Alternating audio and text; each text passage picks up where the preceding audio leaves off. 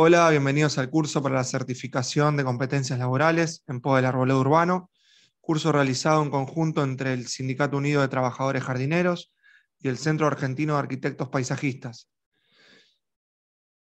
Esta asignatura es la de POA del Arbolado Urbano, seguridad y sus buenas prácticas de poda. Hoy vamos a ver uno de los módulos que comprenden esta asignatura. Los profesores a cargo, quien les habla, ingeniero agrónomo Santiago Deguis, y mi colega, el ingeniero agrónomo Álvaro González Maucieri, quien va a hablar a continuación.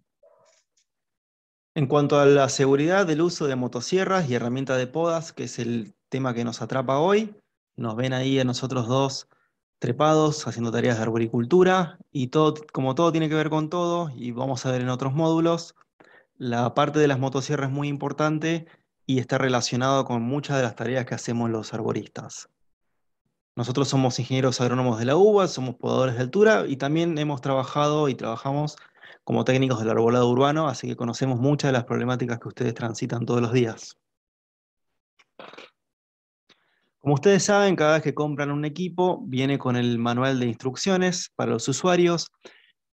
Eh, muchas veces nosotros cuando nos hacemos de una máquina o la heredamos o nos prestan, pero esto no es una excusa para leer los manuales, ya que lo podemos encontrar vía, este, vía digital en Internet, las podemos descargar, están para todos los modelos y muchas de las especificaciones son comunes a todos los equipos, independientemente de las marcas. Ya vamos a ver las nomenclaturas que son universales para que cuando operemos una máquina, por ejemplo, de la marca Steel, tengamos más o menos noción de cómo operar una máquina de la marca Eco o Gamma u otras marcas alternativas.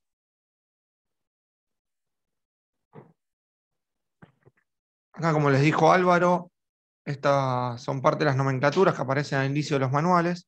Y como ven, el primer símbolo que se indica es el de leer atentamente el manual de instrucciones.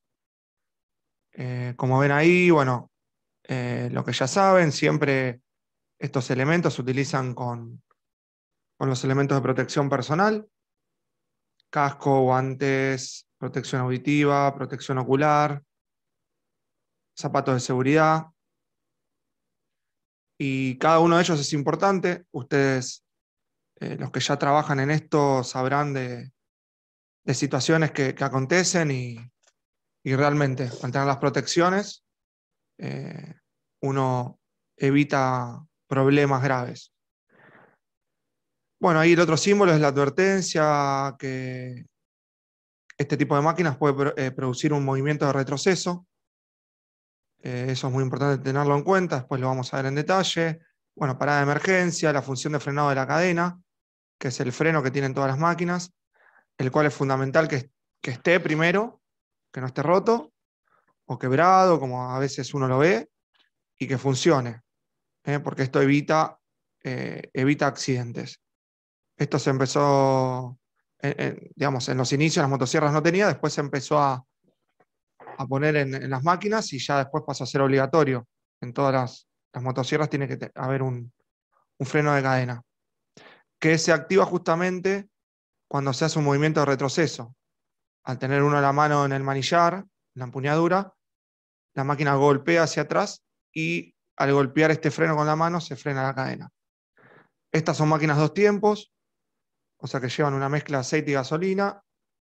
Esto es importantísimo, tener bien etiquetado todos los, los bidones que usamos y demás, saber que esté la mezcla realizada.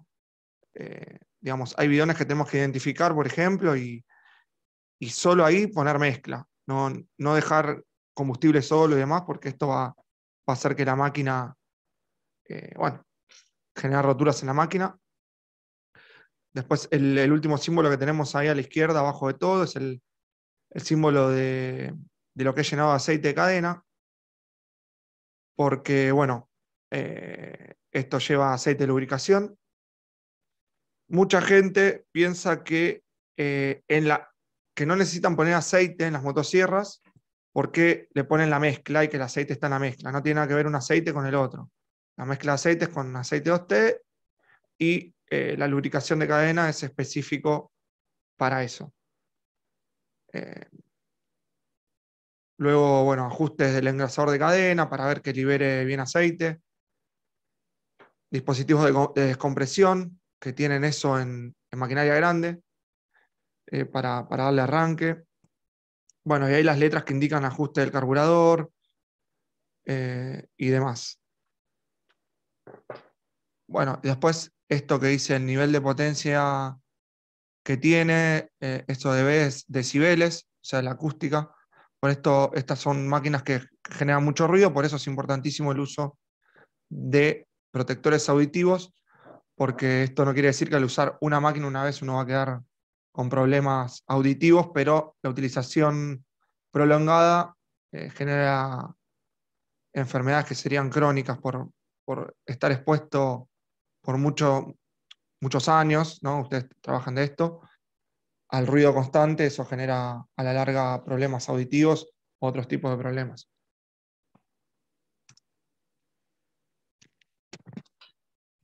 Vemos en imágenes algunos de los equipos de protección individual, que luego vamos a detallar mejor en, en otra parte del módulo, pero cosas que nos parecen básicas muchas veces no las utilizamos. Por ejemplo, el casco, que es obligatorio tanto para el operador de altura como para la gente que está trabajando en tierra y para todo el personal que está dentro del límite de área de trabajo. Protectores auditivos, como nombraba Santiago recién, estas máquinas son muy ruidosas. Hay algunos, algunas máquinas que son eléctricas que hacen un poquito menos de ruido, pero igualmente hay que usar protectores auditivos. Lentes y algún protector facial, pero aunque utilicemos alguna malla de protector facial, siempre tenemos que usar lentes o antiparras guantes de uso optativo, pero la recomendación es usarlos, calzado de seguridad con puntas de acero o de compuestos, de composite, eh, preferentemente botitas para que, sean más cómodos y trabajemos de la mejor manera. Cosas que no debemos llevar en el día a día, cadenas que nos cuelguen, bueno, corbatas es medio raro que usemos, pero cualquier cosa que se nos esté desprendiendo, chalecos que nos pueden colgar y no estén abrochados, zapatillas o zapatos que no son de seguridad, es más que obvio, y después pantalones cortos, remera en mangas cortas, todo esto preferiblemente, si lo tratamos de evitar usarlos, vamos a estar mucho más cómodos, nos vamos a sentir seguros a la hora de operar una motosierra y vamos a terminar la jornada de la mejor manera. Describiendo algunas partes de la motosierra, en este caso es una modelo Husqvarna, pero para todos los modelos son muy similares. Estas son motosierras grandes de uso profesional que usamos en tierra. No podemos usar estas máquinas, salvo excepciones, arriba de los árboles. Vemos que tiene una asadera delantera o una empuñadura para el agarre, donde en este caso ponemos la mano izquierda. Y con la mano derecha vamos a hacer todo lo que es el manejo del bloqueo del acelerador, que empuñamos con la palma, y eso nos va a liberar a, través de un, este, un gatillo que podamos acelerar la máquina de manera controlada. Esto es para evitar accidentes. Si nosotros estamos tomando la empuñadura con la mano derecha, se nos habilita a gatillar con el dedo índice de la mano derecha. Tenemos el piolín de arranque, el acelerador, como ya dijimos, en la empuñadura trasera, nunca va a estar en la parte delantera de la motosierra, y el depósito de combustible, que es combustible más aceite de dos tiempos, generalmente está en la parte de atrás de estas máquinas que son grandes. En las máquinas que son las podadoras de altura están uno encima de la otro en varios de los modelos comerciales. El depósito delantero generalmente coincide con el aceite de engrase de cadena, que muchas veces tiene algún color llamativo como para distinguirlo del aceite de dos tiempos, que comúnmente es más rojizo. El aceite de cadena muchísimas veces lo encontramos de color verde, porque tiene otros aditivos, y además para no confundirnos. La espada que es la que guía la cadena, la cadena de corte, que es la que se deposita sobre la espada, que tiene una ranura para que encaje bien, el escape del motor, que está en la parte delantera y que tiene mucho calentamiento cuando lo usamos, y muchas veces puede calentar el protector de mano o freno de cadena, entonces debemos también chequear que el uso continuo de estas máquinas pueden generar muchísimo calor y tenemos que saber bien de dónde agarrarlo, que sería la empuñadura con la mano izquierda y en la parte de la empuñadura trasera donde está el acelerador con la mano derecha. Ahora vamos a ver una podadora de altura con, vemos que tiene la empuñadura adelante. Es una máquina mucho más compacta. Tiene que ser mucho más maniobrable. Algunos arboristas y podadores de altura lo que hacen incluso es acortar la espada que viene de fábrica, pero bueno, esto es como un, eh, un tuneo que se hace, pero es muy personal. Vemos que tiene detrás de la empuñadura de la mano izquierda dos tapones de aceite. No lo vemos en la parte de atrás como lo vemos en las máquinas profesionales de uso en tierra. Y ahí tenemos que tener muy en claro la nomenclatura, una que nos va a indicar dónde ingresar la gasolina con la mezcla de aceite y otro donde va a ingresar el aceite lubricante de cadena. Podemos ver que tiene un agarre distinto, la mano derecha generalmente están todas diseñadas para los que somos diestros, eh, se puede adaptar el, manillar o la empuñadura para agarre de mano izquierda para los zurdos, pero no es lo más común de ver. En este caso vemos que el botón de apagado está por encima, uno lo acciona con el dedo pulgar de la mano derecha, y también ahí están las posiciones de la mariposa que da lugar al paso de aire del carburador. Esas serían como una de las grandes diferencias respecto de las motosierras de uso profesional en tierra, y el resto de, los componentes son muy parecidos, por eso hay que estar muy atento a los detalles de los dibujitos que nos indican la manera de utilizar la motosierra.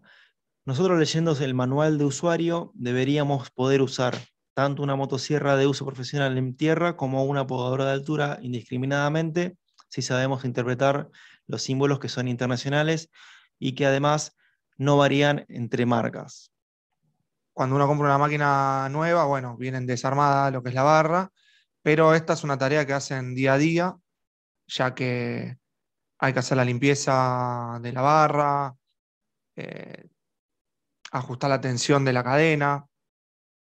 Así que bueno, eh, es importante liberar el freno, como se ve en, el punto 1, arriba de todo, a la izquierda.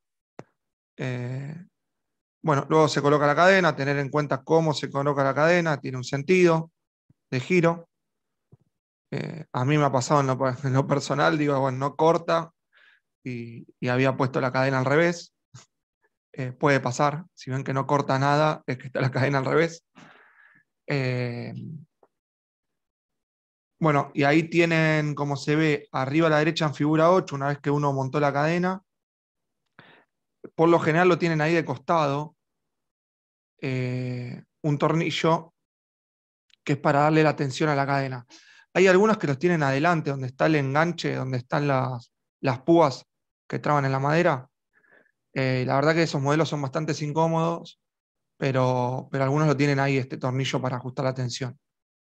Como se ve ahí en las figuras A y B, no se tienen que ver la, el corazón de la cadena, digamos, eh, la parte de la cadena que va en la guía, pero uno puede tener, puede, puede, o sea, tiene que poder tirar de la cadena y, que, separarla un poco. Igualmente, eh, uno, digamos, la, tensiona y la hace correr con la mano. Tiene que correr libremente con la mano. Si uno la tensiona además la cadena, se quema la punta de la espada, bueno, y no se lubrica bien. Eh, esto igual lo vamos a ver en detalle en el práctico. Y cuando uno va a ajustar la barra, la tiene que tener con una mano eh, hacia arriba. ¿Por qué? Porque como uno corta con la parte de abajo de la cadena, de la, de la barra comúnmente, eh, al uno tenerlo para arriba, esta ya está apoyada contra el tope. Si no tenemos riesgo de que si no está bien ajustado o por excesiva presión, se levante la cadena y se levante la cadena junto con la barra, eh, mejor dicho, que se levante la barra y que se modifique la tensión de cadena. Igualmente esto uno lo va regulando varias veces durante el día porque dependiendo del tipo de corte que uno va realizando, eh, el tipo de madera y demás, eh, la tensión de la cadena se puede, se puede aflojar. Y en determinadas, en determinadas especies como las palmeras, que es muy fibrosa, eh, generalmente cada, cada 15 minutos diría, tenemos que ir desarmando, limpiando, porque se empasta todo, no, se, no lubrica, calienta. Eh, así que ahí es un, trabajo arduo, pero son momentos en que uno tiene que sacar mucho más seguido la, barra, limpiarla, limpiar la guía de la barra para que lubrique bien. Eh, eso ustedes lo sabrán mejor que, nosotros, diría, que están por lo general la mayoría todos los días. Igualmente, obviamente que este curso está tomando también gente que, recién está empezando, eh, pero son particularidades que uno va, va aprendiendo de acuerdo a los, a los diferentes trabajos que va haciendo. Eso también es lo, lindo de este trabajo que, que siempre, siempre va cambiando. Como chequeos diarios, podemos ver que podemos hacer revisión periódica de lo que es el filtro de aire que está depositado sobre el carburador, que es la entrada del aire, la que aporta el oxígeno para generar la combustión dentro del pistón. Podemos también chequear la bujía. Esto lo hacemos con la llave saca bujía que viene con cada modelo y que es específica. Generalmente son dos o tres medidas, pero la podemos ir chequeando regularmente. Como vemos en el kit cuando lo compramos, siempre viene una llave saca bujía con dos medidas. Una generalmente es para la bujía, la más grande, y la más chiquita es para sacar la tapa de costado que nos da acceso a la cadena, al piñón, que también deberíamos verificar con cierta periodicidad. Y tenemos un destornillador pequeño que es para la carburación. Aconsejo no tocar mucho la carburación y dejar a la gente que es técnica y especializada en este tipo de cosas. Otra cuestión que podemos revisar periódicamente son las barras, donde va montada la cadena. Cada tanto tenemos que girarlas, no siempre que quede del mismo lado la escritura de la marca, sino rotarlas para que el desgaste sea parejo. Y debemos chequear el filo de la cadena que sea el largo correcto, parejo en todos sus eslabones. Ya vamos a ver la manera de, afilarla. Y podemos también chequear que los plásticos no estén sueltos, no estén golpeados, nada que nos interponga en el trabajo diario y que nos dificulte para evitar vibraciones y para evitar que la máquina se desarme cuando más la necesitamos o deje de andar cuando más lo necesitamos. Todas las máquinas traen un capuchón o un cubrecadena que tiene la función de encapuchar la barra y la cadena, sobre todo para cuando está armada la motosierra. Generalmente nunca la armamos con la barra sola sin poner la cadena, que la cadena es lo peligroso. Entonces, para evitarnos esto de armar y desarmar en el transporte, ponemos este capuchón, que muchas veces es de color anaranjado, un color que se puede ver, porque cuando empezamos la labor lo dejamos en el suelo, lo dejamos en el pasto y después lo olvidamos. Y muchas veces tiene también un sujetador que va adosado al manillar o a la empuñadura para que no se mueva en el transporte. Con la cadena muchos de estos plásticos se van percudiendo y a veces salen los, los dientes para afuera, los dientes de la cadena, traspasan el plástico por estas vibraciones por no estar bien colocado el, capuchón o cubre cadena. Para hacer el uso al encenderla tenemos que obviamente retirar el capuchón solo al momento de encenderla y la máquina es recomendable que esté siempre con el freno de mano colocado. Esto lo hacemos empuñando hacia adelante. Una cuestión a tener en cuenta es repostar utilizando embudos o dosificadores. Existen muchos bidones que vienen ya con su dosificador incluido. Es una especie de manguera que viene guardado dentro de cada bidón, que cuando los compramos son específicos para eh, materiales inflamables, generalmente combustibles, gasolina, y eso lo tiene que identificar el, fabricante. Idealmente deberíamos tener dos embudos, uno para aceite y uno para el, combustible más el aceite. Si son de distintos colores, mucho más fácil identificar, identificarlos visualmente y nos vamos a ahorrar mucho tiempo y disgustos para no mezclar los fluidos. En máquinas grandes tienen un bombín, que esto lo que hace es ingresar combustible a la cámara y nos va a ayudar mucho en el arranque. Podemos también en máquinas grandes presionar la válvula de descompresión. Esto lo que va a hacer es que cuando tiremos del piolín, para dar arranque no nos quedemos haciendo muchísima fuerza y la máquina no se mueva porque está toda la, cámara llena de, aire. La nomenclatura universal indica que las posiciones de arranque son igual para todas las, motosierras. Ahí vemos el paso, la mariposa que da el paso al aire, eh, que en todas las motosierras, cuando las encendemos por primera vez en frío, debería estar en la posición de abajo de todo o si no es abajo de todo en las posiciones, en las podadoras de altura, en, la, en el último dibujito, esa es la posición de arranque que tenemos que escuchar, la explosión, para después pasar a la posición de cebador o acelere. Y luego, a partir de esa, cuando la motosierra ya está caliente, podemos eh, interactuar entre la posición de stop y la posición de arranque sin volver a pasar por las dos posiciones anteriores de arranque en frío, a menos que la bujía esté ahogada, la máquina esté ahogada, que eso lo vamos a ver de manera práctica porque hay todo un circuito que debemos hacer cuando la máquina se ahoga. El arranque recomendado es siempre sobre el suelo, en la parte de la empuñadura trasera donde va la mano derecha. Siempre nos da lugar para meter una bota de seguridad. Lo que debemos hacer es poner en el suelo la máquina, pisarla, con la otra mano apoyar en la empuñadura delantera y con la mano sobrante damos tirones en, en el arranque. También existe una posición de encendido vertical, cuando el operario está de pie. Lo correcto es trabar la parte trasera de la motosierra, siempre con el freno puesto, con una mano sostener la empuñadura y con la otra tirar del arranque. Esto es para evitar movimientos y también para evitar que la motosierra la arranquemos y después no la podamos controlar y no, si está mal carburada, por ejemplo, esa motosierra y no tiene el freno de mano, la cadena puede girar un poco y puede dañarnos, aunque sea un poco, y eso ya es mucho para la seguridad nuestra. Si vamos a almacenar las motosierras por largos periodos de tiempo, vacaciones, temporadas bajas de poda, lo que debemos hacer es quitar el combustible, la mezcla de combustible y aceite, que generalmente, como dijimos, está en la parte trasera, en ese depósito, la vaciamos en un recipiente y debemos llevar ese combustible que el fabricante recomienda no volver a utilizar a un lugar responsable donde pueda hacerse uso de este combustible de otra manera, pero que a nosotros no nos dañe el equipo.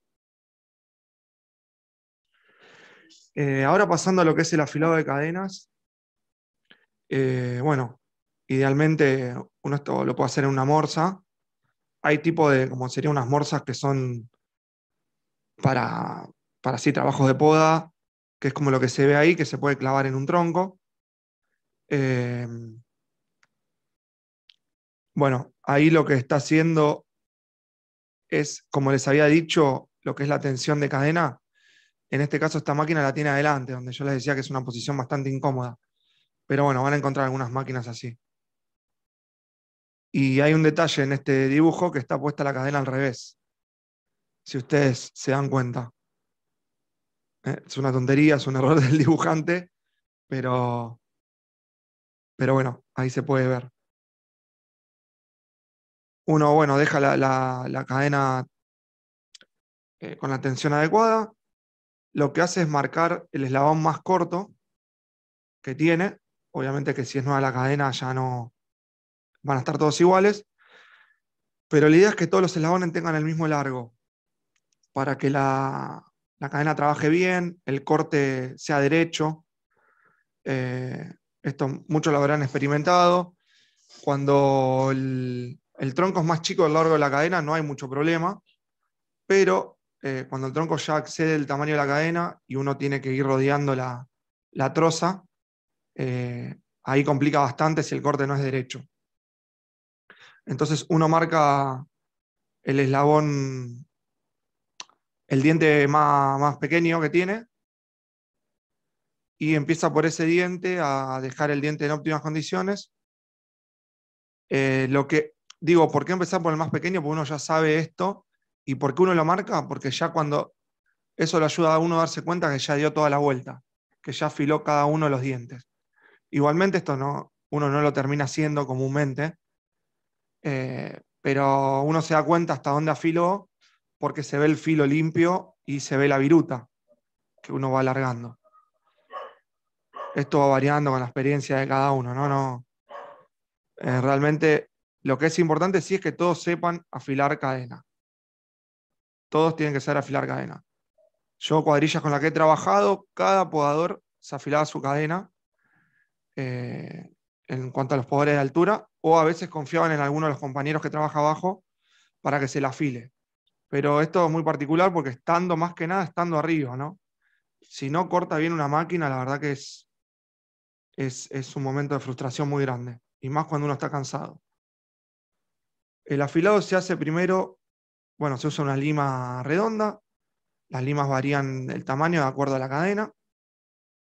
Eh, las más comunes es 316, eh, que es de las máquinas medianas a grandes, lo cual corresponde a 4,8 milímetros de diámetro, y 532, que corresponde a 4 milímetros de diámetro, y se utiliza en este caso para motosierras chicas, como la de poda de agarre tipo plancha o las motosierras extensibles.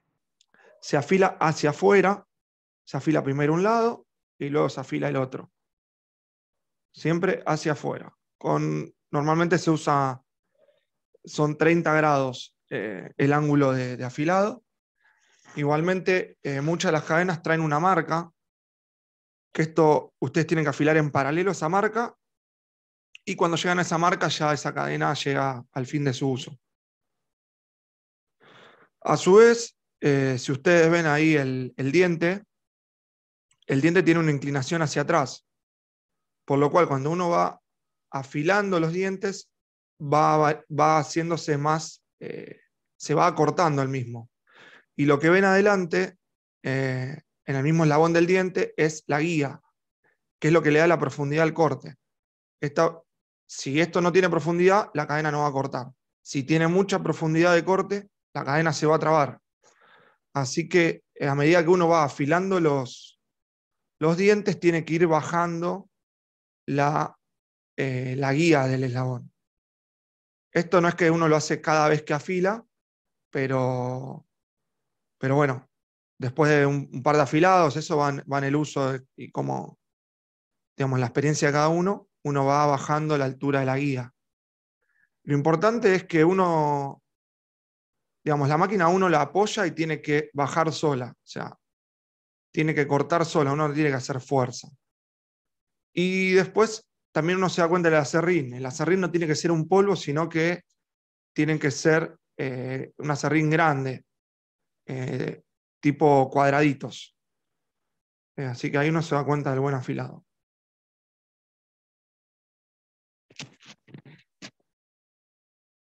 Utilizar la motosierra con ambas manos es una recomendación universal que lo hacen tanto los manuales de las motosierras, los manuales de operario, como también las normas internacionales, como citamos en la bibliografía, la ANSI Z133. Tiene algunas excepciones la norma para utilizar la motosierra con una mano, pero eh, la regla es que con las dos manos nosotros tenemos que poder hacer todos los cortes. Probablemente si hagamos los cortes con con una sola mano o estamos haciendo cosas que no debemos y sabemos que no las, no debemos hacer o estamos teniendo algún problema. Debemos posicionarnos mejor, revisar nuestro sistema, revisar cómo estamos posicionados, quizás queden otras opciones para trabajar, pero lo ideal es agarrar la motosierra con las dos manos, una en la empuñadura y una en el acelerador. Esto también aplica para los, los trabajos que estamos haciendo en tierra. Los operarios en tierra, sobre todo que manejan algunas máquinas que son un poco más grandes, porque el trozado quizás es de diámetros mayores o porque también las podadoras de altura son un poco más caras que las, las podadoras de línea jardín o las, las primeras motosierras de cilindrada chica de todas las marcas. Igualmente debemos usarlas con las dos manos puestas en, la empuñadura y en el acelerador. Existen distintas técnicas de corte, muchas de ellas también detalladas en los manuales de usuario y algunas que se van aprendiendo con la experiencia. Como vemos en algunos dibujos, una de ellas es no posicionarse frente a la motosierra, frente a la espada y lo que sería el giro de toda esa cadena, sino correr un poco el cuerpo desplazar la motosierra hacia un lado.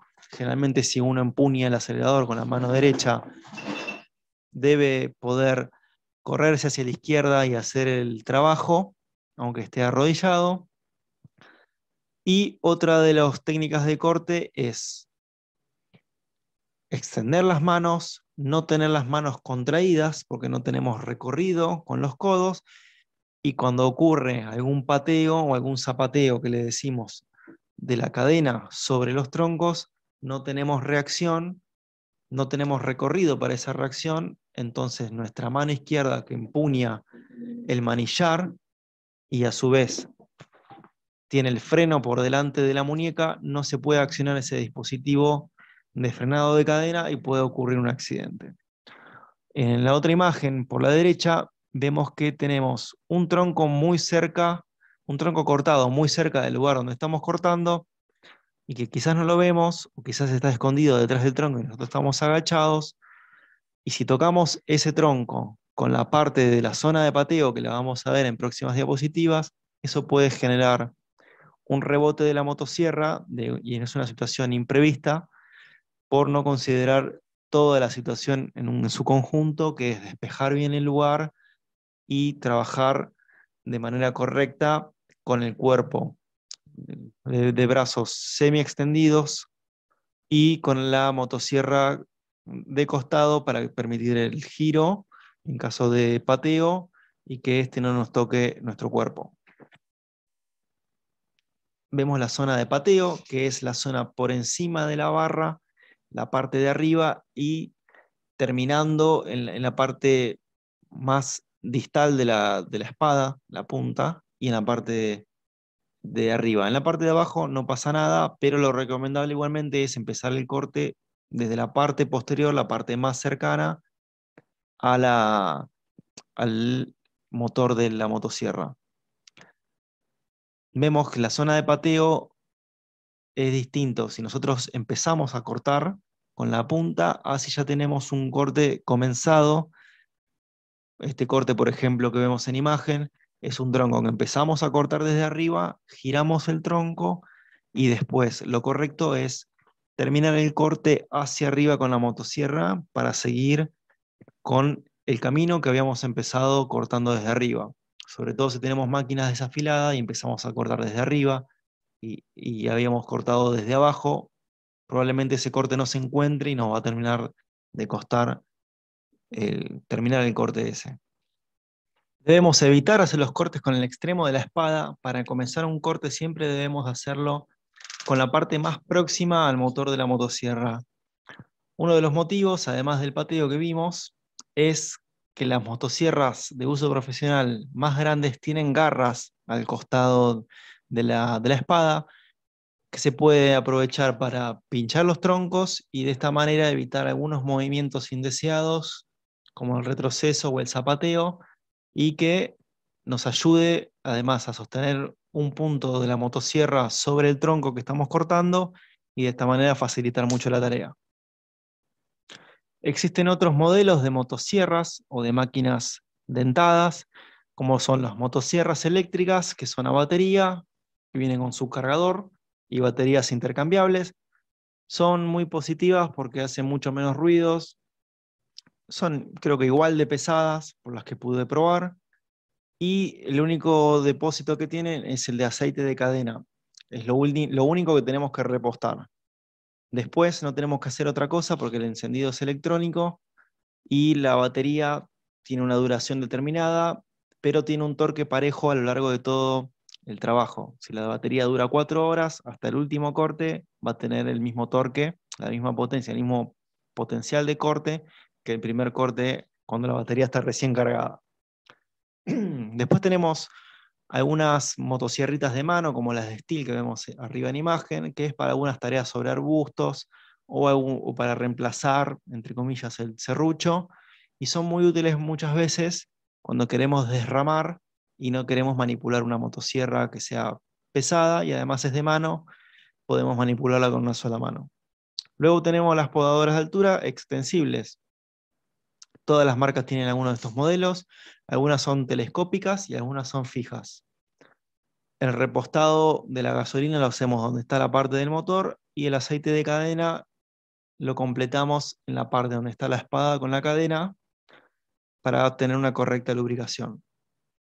Generalmente son de hasta 3-4 metros de extensión y mientras más alargamos telescópicamente eh, eh, estos caños, más difícil de controlar son porque tienen mucha palanca sobre nuestro cuerpo. Muchas veces se pone un arnés con estas podaduras, pero tampoco lo más recomendable porque estás atado a algo que en cualquier tipo de accidente no te puedes desligar. Bueno, acá lo que podemos observar en la próxima diapositiva son otras herramientas de poda, como el tijerón o tijera de mano a la izquierda, eh, porque obviamente eh, uno, uno, está hablando de, trepa, que, es lo, que, digamos, a lo que enfoca por ahí principalmente este curso, pero, pero bueno, también hay otras tareas de poda como son poda de formación, eh, muchas veces no es necesario usar la motosierra, de hecho la motosierra, mira, ahora me acordé, eh, no es bueno con usar usarla con diámetros muy pequeños de ramas porque se traba la, la cadena y es muy, muy peligroso, puede generar algún accidente. Por lo cual, eh, hay cosas que se pueden resolver con una tijera, eh, con un tijerón, y de hecho queda, queda mejor el corte. Em, más que nada en esto, como dije, la poda de formación. Hay zonas en, en, microcentro de la, de, la capital, acá de Buenos Aires, donde hay árboles como la, como la fotinia, ligustro, que con estos elementos ya, ya se puede realizar la poda adecuada. Y después los serruchos. Están el que se va abajo, que es un serrucho de mano, eh, con una funda. Esto es para, para que lo pueda subir el, podador, el podador de altura. Esto eh, lo ideal es siempre tener un serrucho, por más que uno suba con la motosierra, porque hay en muchos momentos que uno no está muy bien anclado, posiciones incómodas, y son ramas chicas, y la verdad que lo ideal es cortarlo con serrucho, es mucho más seguro. O para terminar determinados cortes, uno los empieza con la motosierra y los termina con el serrucho. Más que nada cuando uno está anclado en el eje principal y es el único eje que tiene, digamos, no, está anclado por arriba. Entonces uno puede hacer la boca de dirección, hacer el corte trasero sin terminarlo, colgar la motosierra para apagarla y terminar el corte con el serrucho y ahí uno puede empujar el tronco para su caída. Eso es muchísimo más seguro, es cuestión de costumbre nada más. No es que uno va a tardar más tiempo. Y lo que se ve arriba es la pértiga, y el serrucho que se ve a la derecha es la, el serrucho que se pone en la pértiga. Que en la pértiga también se puede poner un tijerón con un piolín para, cortar ramas chicas. Eh, y bueno, la pértiga, por ejemplo, esta que mostramos acá, es una pértiga de aluminio que tiene, llega hasta 5 metros. Por ahí uno no la usa en 5 metros porque ya se hace muy, muy largo y difícil de manejar. Pero la verdad que también, hay veces que no hay necesidad ni de, trepar, se puede resolver con este elemento. Eh, o para hacer cortes, no sé, ramas secas que están muy alejadas y, y es muy complicado llegar con la trepa por ahí uno está arriba del árbol, le pasan la pértiga, hace esos cortes y, no tiene que hacer tanto desgaste. Bueno, esto es lo último. Eh, esto es algo de la bibliografía, los manuales de instrucción, las normas ANSI, que son normas de Estados Unidos, eh, porque acá todavía no hay normas específicas para lo que es poda en altura. Eh, bueno, hay un instructivo de poda que es la Universidad Nacional de Río Cuarto. Así que bueno, esto sería todo, espero que, les sirva. Eh, igualmente todo esto se va a reforzar y a ver nuevamente en la parte práctica. Así que cualquier duda, anótenlo y para cuando nos juntemos eh, lo vamos a, resolver. Muchas gracias de parte mía, Santiago Davis, y de parte de, Álvaro. Eh, y hasta la próxima.